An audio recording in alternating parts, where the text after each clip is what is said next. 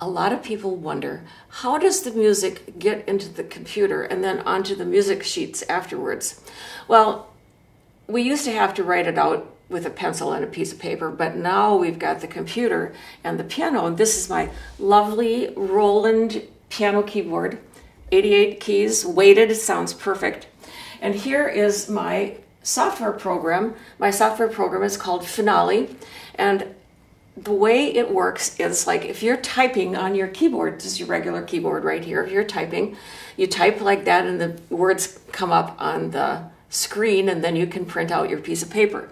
Okay, so here I have my, each one of these number keys means a different length of note, a quarter note, an eighth note, and so on.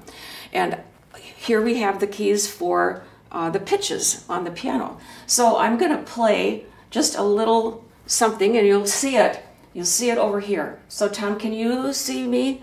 Can you see the paper? Okay, we're good. Alrighty. So here I go. I play C, quarter note, C, quarter note, G, quarter note, E, quarter note again. And now I'm going to make that do that same thing and I'm going to play eighth note.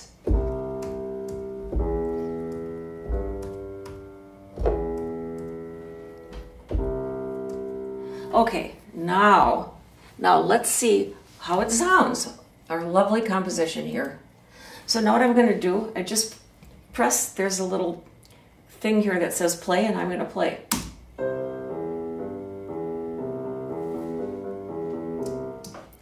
Okay, see it, it doesn't take too long, but so you have to think about what it is you want to write first because otherwise you will get really, really, you'll be really sad. So let's just take a little listen to, uh, I'll explain this thing. Here is the piece from the mitten called The Boar, which I is one of my favorites because I love tubas. That's that big, big brass instrument.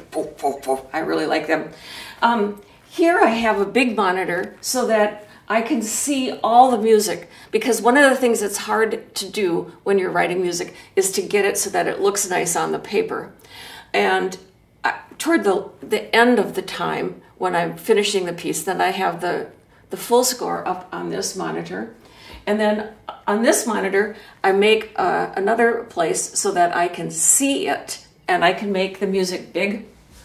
I just have to make it so I can I can I can make it really big, see?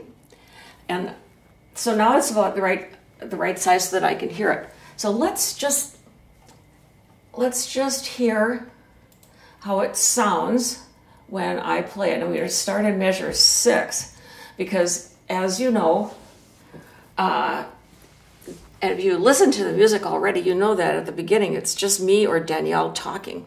If you're listening to Spanish, it's Danielle, and if you're listening to English, it's me. So now we're going to hear the tuba as it sounds on the on the uh, computer.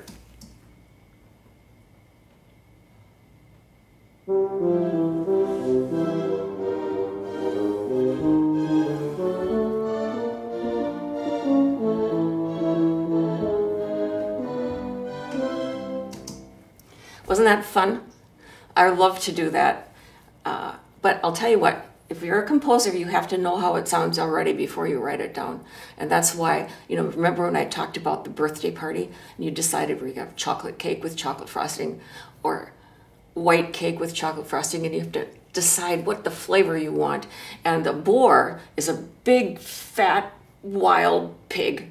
And I thought that tuba sounded, oh, just like that. Oh, he's a big pig and he's round and yummy. And we put him in the computer and he comes out the other side and eventually we have a nice CD for children to listen to. Thanks so much for coming to the studio.